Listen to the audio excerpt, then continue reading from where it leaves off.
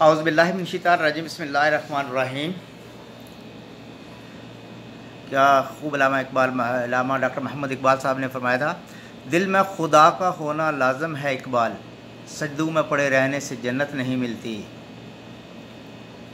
पाकिस्तान एक खूनी इनकलाब से सिर्फ़ एक कदम दूरी पर या एक आमकाना फैसले की मार है। फिर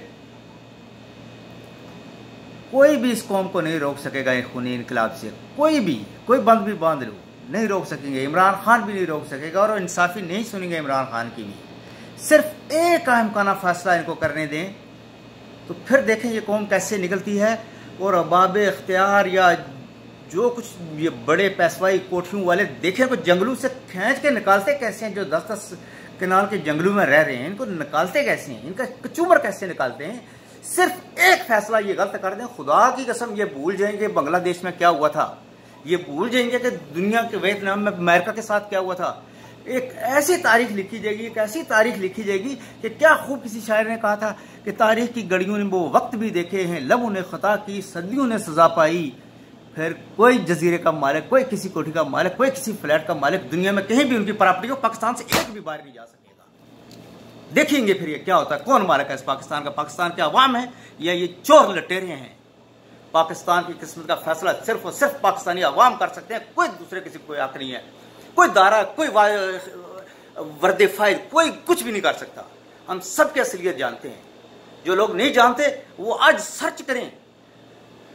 ट्वेंटी सेवन और ट्वेंटी एट अप्रैल सानिया सीरीज़ बंडाला, जिसमें 26 लोगों को बेगनाम बच्चों औरतों को शहीद कर दिया गया था।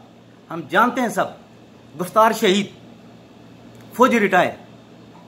आज़ाद खिता रियासत जम्मू कश्मीर सराय सदाबाद का रहने वाला, कैसे वो शहीद हुआ? हमें ना कोई आजमाए। हम क्या हैं?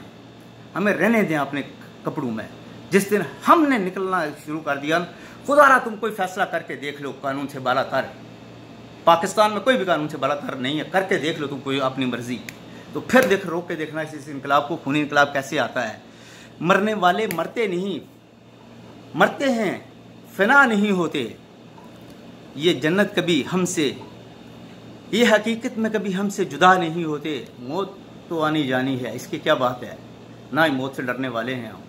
बहुत हो गया, बहुत सह लिया बहुत बर्दाश्त कर लिया पाकिस्तान में लेकिन अब जुल्म की अंधेरी रात और नहीं चलेगी। खुदारा जो भी कर सकते हैं, अदलिया वाले स्पेशलिस्ट जज खुदा की कसम, ये आवाम वैसे भी तो भूख से मर रही है, अफलास से मर रही है, कपड़े नहीं है, सर्दी गर्मी में मर रहे हैं, मकान नहीं है इनके पास।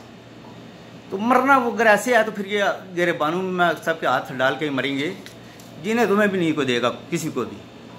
तो करके देख लो जो करना तुम लोगों ने, जो फैसले होते हैं तुमसे कर लो। इन एक ऊपर भी ज़ात है। और एक फ़ैसला अवाम ने करना है। सिर्फ़ अवाम पता नहीं किस इंतज़ार में है। अल्लाह करे, अल्लाह ही पाकिस्तान का हामी नासर हो। इमरान खान के सिवा पाकिस्तान को कोई मुतहद यूनिट नहीं रख सकता। ये डन है। और अभी मंजी, वो शबाज शरीफ कहते थे, मंजी थले डांग फेरो, अब उनकी मंजी थले भी डांग फिरेगी। इन अवाम फेरेगी। कोई अदारा नहीं फेरेगा। कोई बचा नहीं सकेगा किसी को।